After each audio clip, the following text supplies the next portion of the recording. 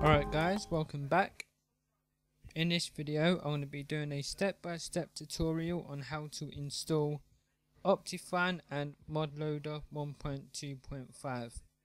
So the first thing I want you to do is come down to the description and go to the first link which will lead you to this website here.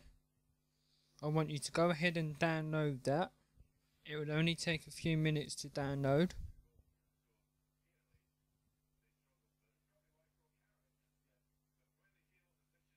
So once you've done that, I want you to go to the second link, which will be the Minecraft forum website. I want you to scroll down until you find Mod Loader 1.2.5. It shouldn't be too far down. And then I want you to download AdFly.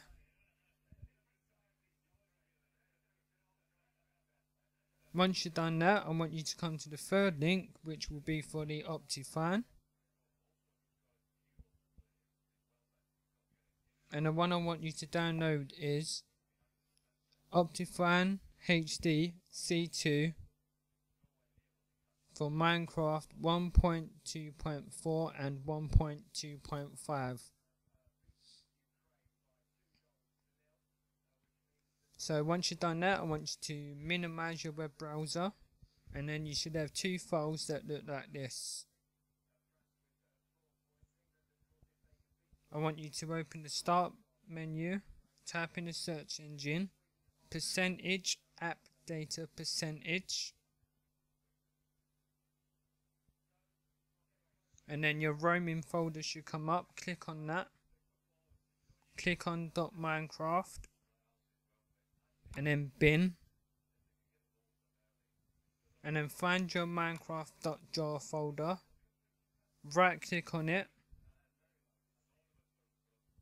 open with WinRAR in this folder I want you to delete something called MetaInf because that will prevent you from installing any mods.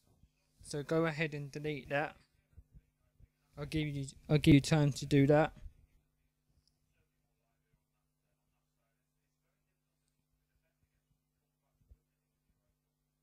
So once you've done that, I want you to open ModLoader.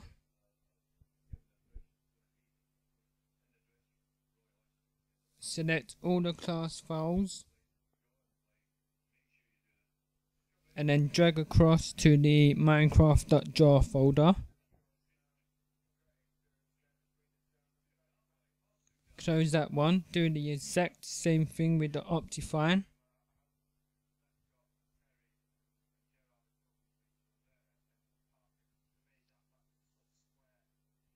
There you go.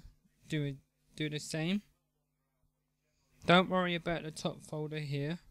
Just ignore that. So close them. To see if it's working, go onto your Minecraft.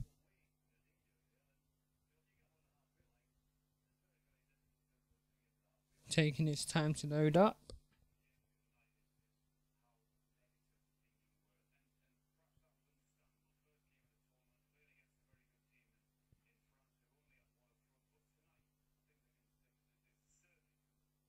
Come on. There you go.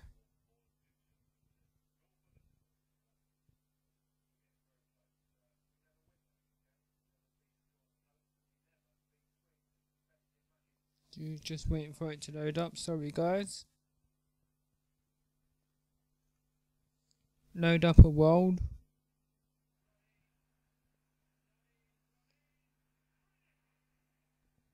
and then go to the um, game menu. Video settings. And there you go. You should have all these extra options to go into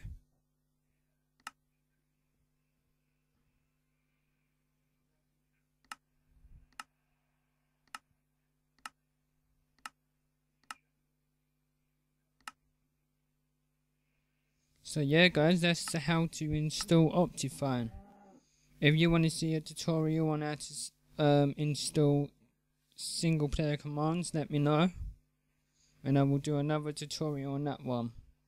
Alright then guys, if this helped you out, please subscribe, comment and thumbs up the video. I will see you in the next video. See you later guys.